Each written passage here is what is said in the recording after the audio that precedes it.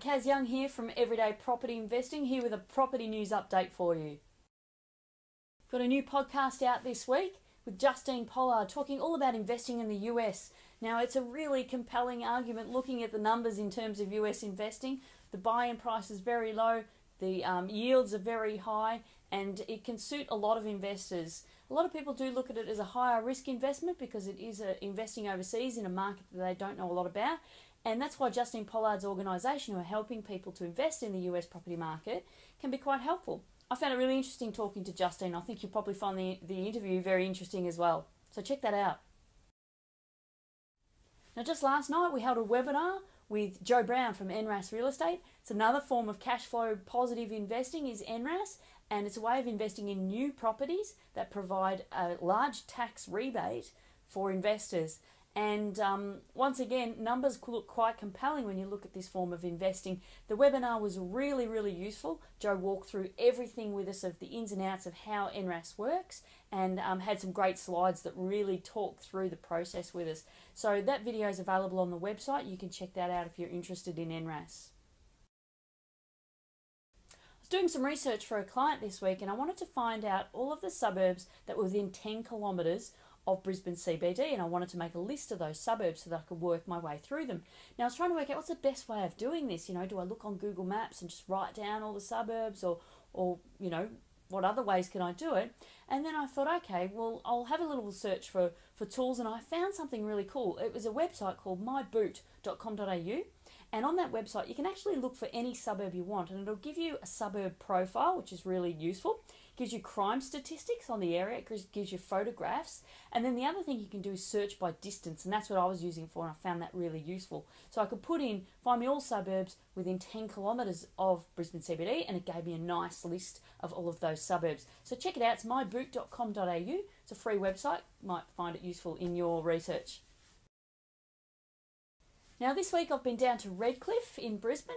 Um, as you know, I run a buyer's agency in Brisbane and Queensland, and so I was looking in the Redcliffe region for a client who's interested in that particular area, and I thought it's an interesting suburb. I might just tell you a bit about it in case it's somewhere that you might be interested in. It's around about 27 or 28 k's out of the Brisbane CBD, but it's quite easily commutable. The attractive thing about Redcliffe, it's a really nice sort of beachside feel to it. It is a beachside town. Um, it has been traditionally very affordable and is still very affordable. I think median house prices around Redcliffe are around about 340,000 at the moment. Um, and there are suburbs along that waterfront area, such as Scarborough, Redcliffe, Margate, Woody Point. Um, and then further inland, there's some suburbs along the way to Redcliffe, like Kippa-Ring, Rothwell, and North Lakes, you can get kind of brand new homes there, or very close to new homes there for very affordable prices. Another interesting thing about this particular area is there's a train line going in from the existing Petrie station. They're going to extend that line out toward Redcliffe um, with stations on the way. In um, Kippa-Ring, there'll be a station. Is the last is the end of the line. There'll be another couple of stations in there as well, including Rothwell.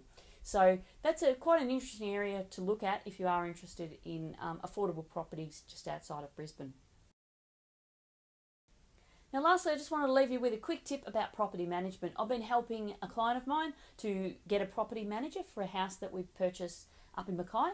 And um, I think when you're looking for a property manager, it's really important to take it seriously, make a list, make a comparison between agents, and really interview the agent. So, what I tend to do is I go on to, say, realestate.com, I look up properties for rent in that area.